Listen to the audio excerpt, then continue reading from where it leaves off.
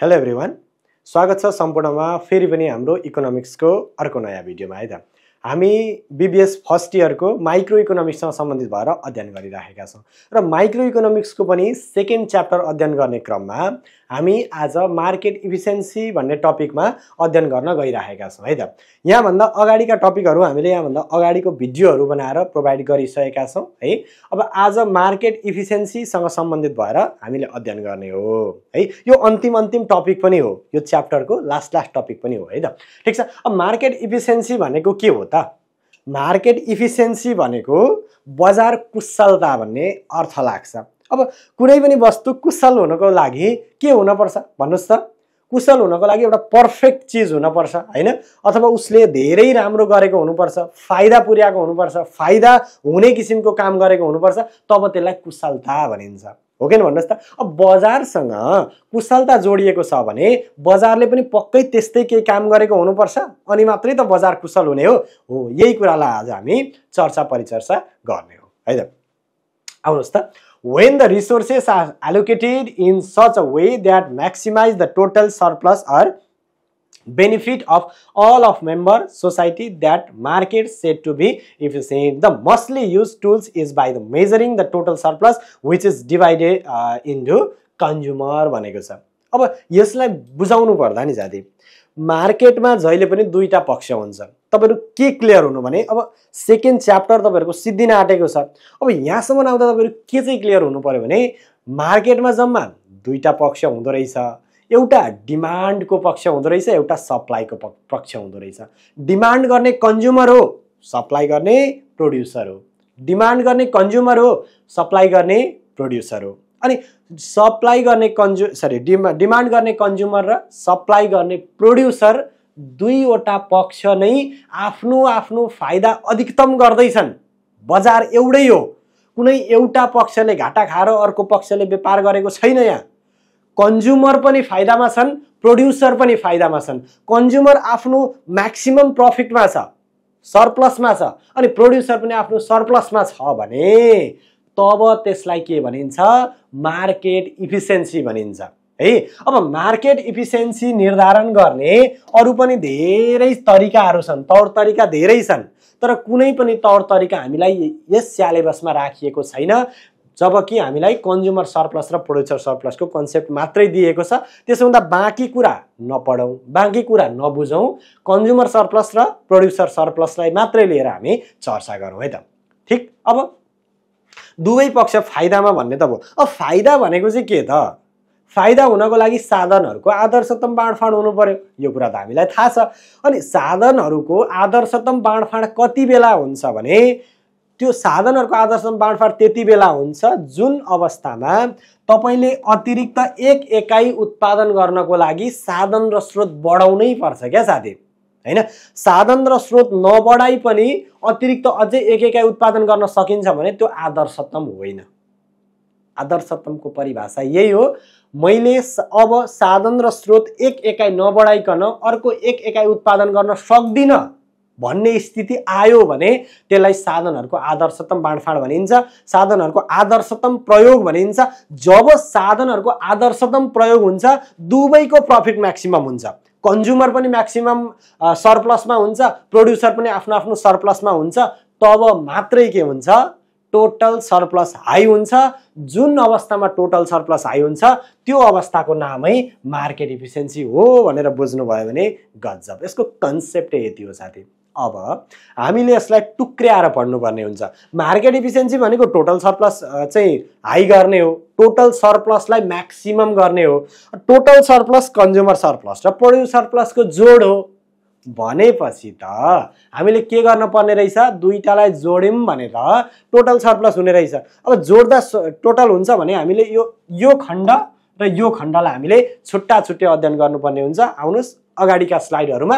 Consumer surplus र produce सरप्लसको बारेमा हामी चर्चा गर्नेछौँ है त। ठिक छ?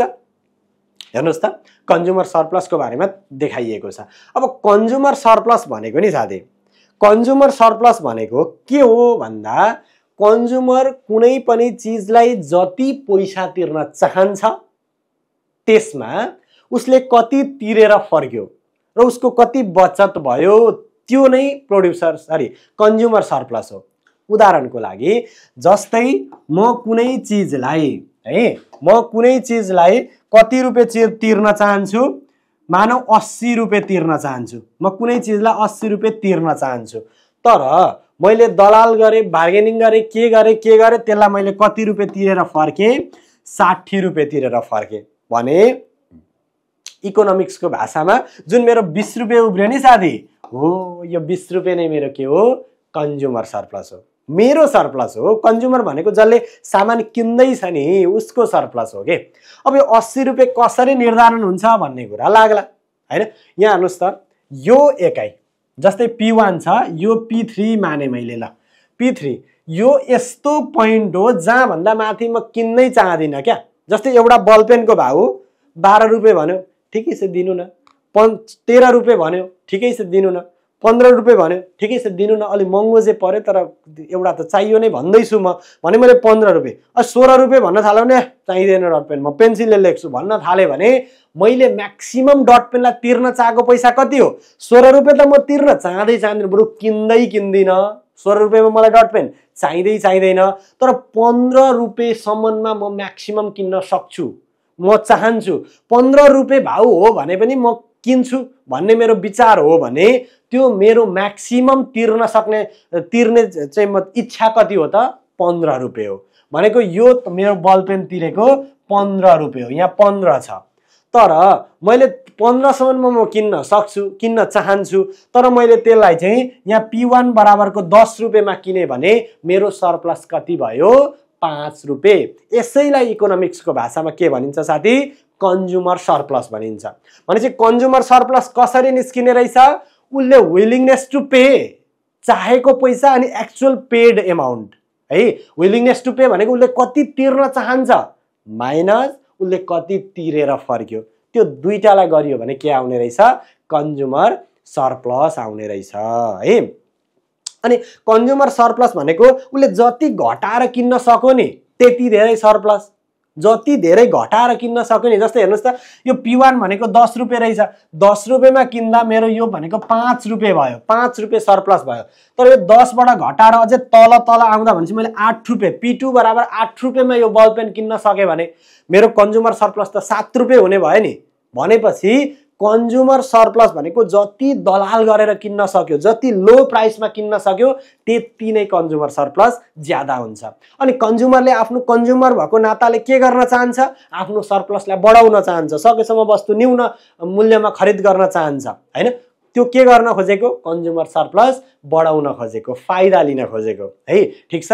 यो नै कन्ज्युमर सरप्लस हो। कन्ज्युमर सरप्लसको कन्सेप्ट यस्तै हो कुरा। अब कन्ज्युमर सरप्लस कसरी निकाल्ने भन्ने हामी न्युमेरिकल क्यालकुलेसनमा गरिहाल्छौँ। अब अहिलेको लागि कन्ज्युमर सरप्लस बुझेर हामी प्रोड्युसर सरप्लसमा प्रवेश गरौँ है त। अब प्रोड्युसर सरप्लस भनेको के हो त? यो उँभोकोलाई ठ्याक्कै उँधो पल्टेको छ। हेर्नुहोस् त साथी डायग्राममा यो माथितिर छ। अब यही कुरा ड्याङ्गै उँधो पल्ट्यो भने यो के हुने रहेछ? प्रोड्युसर सरप्लस भएर आउने रहेछ। हो? अब प्रोड्युसर सरप्लस भनेको प्रोड्युसर सरप्लस भनेको वास्तविक अमाउन्ट हो नि फेरि। है? जस्तै उसले उत्पादन गर्दा जति लागत लागेको थियो मिनिमम प्रोडक्सन कस्ट त्योभन्दा माथि उसले कतिमा बेच्न सक्यो? हेर्नुहोस् त यो एमाउन्ट भनेको उसको मिनिमम कस्ट हो। है? यो अमाउन्ट भनेको उसको के हो? मिनिमम कस्ट हो। मिनिमम कस्ट भन्नुको अर्थ उसले यहाँभन्दा मुनि उत्पादनै गर्न सक्दैन। मानौ यो दस रुपियाँ हो भने यो दस रुपियाँभन्दा मुनि प्रोडक्टै बनाउन सक्दैन उसले सप्लाई गर्नै सक्दैन। अब सक्यो सप्लाई नै सक्यो भने त्यो बिन्दु के भनिन्छ? उत्पादनको बिन्दु होइन?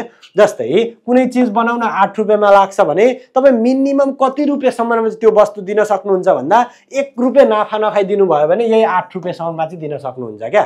एक रुपियाँ नाफा खानुभयो भने तर सातमा तपाईँ कुनै पनि हालतमा दिन सक्नु हुँदैन। एउटा प्रड्युसरले सात रुपियाँमा सप्लाई गर्न सक्दैन। उसले जिरो रुपियाँ नाफामा बरु आठमा सप्लाई गर्ला। त्यो नै यो बिन्दु हो होइन? भनेको नाफा नखाइदिन सक्ने बिन्दु। अब त्यहाँभन्दा माथि उसले कतिमा बेच्छ? जस्तै आठमा उत्पादन भएको वस्तु दस रुपियाँमा उसले बेच्न सक्छ भने बेच्न पायो भने त्यो के हुन्छ? प्रोड्युसर सरप्लस है प्रोड्युसर सरप्लस भनेको प्रोड्युसरको प्रफिट हो। अनि यो के देखिन्छ भन्दा जति धेरैमा उत्पादन गर्न सकियो जति धेरै चाहिँ वस्तु माथि प्राइसमा बेच्न सकियो त्यति धेरै प्रोड्युसर सरप्लस हुँदो रहेछ। अनि गजबको कुरा त के छ भने नि producer surplus high high high प्राइसमा बेच्न खोज्छ आफ्नो सरप्लस बढाउन खोज्छ। होइन? कन्ज्युमर लो लो लो प्राइसमा किन्न खोज्छ। आफ्नो सरप्लस बढाउन खोज्छ। कन्ज्युमरले लो प्राइसमा किन्न सक्यो भने प्रोड्युसर सरप्लस कन्ज्युमर आफ्नो बनाउन सक्छ। भनेको उत्पादकलाई कम नाफा छोडेर आफूले ज्यादा नाफा पाउन सक्छ। अब व्यापारीले फेरि प्रो माथिको प्राइसमा बेच्न पायो भने उसले प्रोडक्सन के गर्न सक्छ त? कन्ज्युमरको प्रफिट आफ्नो हत्याउन सक्छ क्या? भनेपछि यो सबै खेलै के हो त? कन्ज्युमर सरप्लसले प्रोड्युसर सरप्लस खोज्ने र प्रोड्युसर सरप्लसले कन्ज्युमर सरप्लस तान्ने। यो मास्लो तल्लो पोइन्टको बिन्दु यस्तो तरिकाको यहाँ खेल हुन्छ क्या जाति। भनेपछि हेर्नुहोस् त पी टूमा बेच्दाखेरि यो हरियो बराबरको मात्रै नाफा थियो। अब के के के काम गरेर अथवा मूल्य बढा मूल्य दलाली मली गरेर अथवा उसले कुनै पनि अवस्थाले कुनै पनि हालतमा पी वान बराबरमा बेच्न सक्यो भने त उसको त यो पहेँलो भाग पनि थपिने रहेछ। हो पहेँलो भाग पनि सरप्लसमा आउने रहेछ। भनेपछि यति धेरै क्वान्टिटी उसले बेच्यो यति धेरै क्वान्टिटी उसले बेच्न सक्दो रहेछ। भनेपछि यसको के भयो त? यसको रिजल्ट के भयो त भन्दा प्रोड्युसर सरप्लस तलपट्टि देखाइदो रहेछ। प्रोड्युसर सर्प्लस भन्नुको अर्थ उसले कतिमा उत्पादन गरेको थियो हेर्नुहोस् त producer surplus is the benefit that producer receive over the cost of providing goods है? It is the difference between the cost of seller and amount receive seller है?